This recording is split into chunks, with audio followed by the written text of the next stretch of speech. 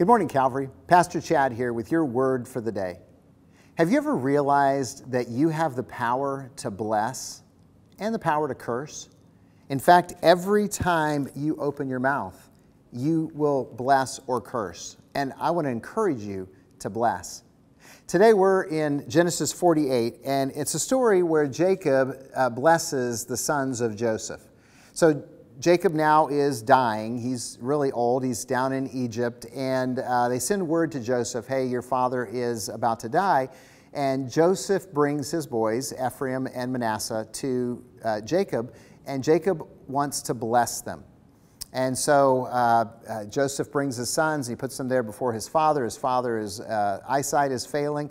And he reaches out to bless them and he, and he crosses his hands on purpose, and he, and he puts his right hand, the hand of blessing, on the younger boy, Ephraim, and his left hand on the older son, Manasseh.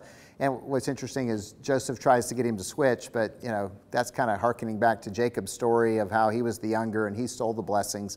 Now he's doing it kind of uh, purposefully. Anyway, you can read the story if you want to, but uh, what does that have to do with us? You have the power to bless every time you speak every single time you open your mouth. And I just want to encourage you bless. Scripture encourages you to bless. The Apostle Paul actually wrote these words in Romans 12. He said, Bless those who persecute you, bless and do not curse.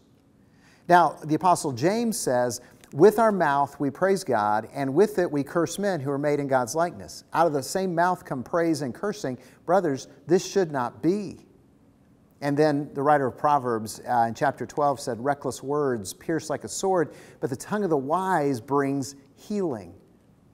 I, I just really want us to be a people of blessing. I want you to be a person of blessing. So, can I encourage you to bless those around you? Bless the one you're married to. You know, just let your words be kind, sweet, and encouraging. Bless your children. I don't care if your children are little and sitting on your lap or if they're grown and even parents or grandparents bless them. It, it, it's so easy to do, and it's so powerful when we convey the good from our hearts to them in a verbal way. Uh, bless your grandchildren. Let them know that you are delighted that God has given them to you and speak into their lives and give them hope and, and wisdom that, you know, that they need.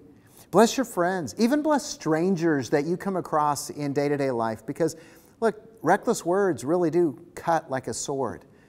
But the tongue of the wise brings healing, it brings hope, it brings life, it brings peace. So I want to encourage you to be a person of blessing. Because if you're a person of blessing, guess what's going to happen? You will be blessed. In fact, I hope this blesses you today. God bless and have a great day.